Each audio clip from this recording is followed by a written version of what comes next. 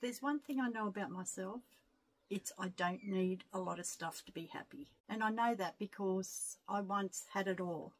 I had a custom built house. I had another acreage in the country. I had a heap of rental properties. I was taking overseas holidays. I was living the dream, or so I thought. These days, I don't have any of that stuff apart from a few rental houses that I still have a 50% share in. I'm worth probably about 50 cents financially, but I am so content now.